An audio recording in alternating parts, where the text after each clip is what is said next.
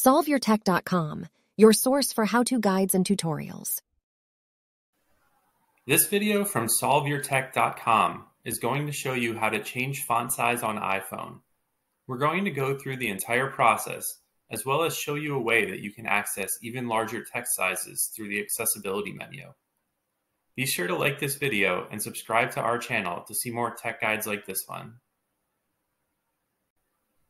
The display and brightness menu in the iPhone settings app provides you with options for changing the way that text looks on the device.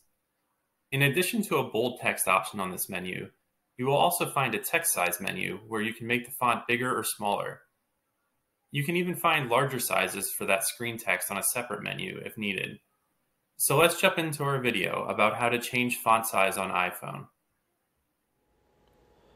You can change the font size on your iPhone by opening the Settings app, scrolling down and selecting Display and Brightness, tapping the button that says Text Size, then dragging the slider at the bottom of the screen to the left to make the text smaller or to the right to make the text bigger. If you want larger text sizes than the ones that we found on the Display and Brightness menu, then there's another place you can look.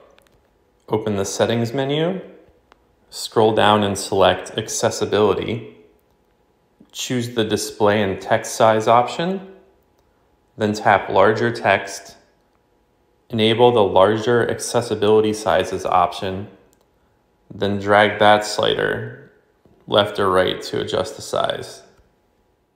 To summarize, when you want to change font size on iPhone, you can open the Settings menu Select the Display and Brightness menu, choose Text Size, then drag the slider to the left to make the font smaller, or drag it right to make it bigger. If the text size options here aren't large enough, then you can find bigger text size options by going to Settings, Accessibility, Display and Text Size, Larger Text, then turn on the Larger Accessibility Sizes option and move the slider at the bottom of the screen.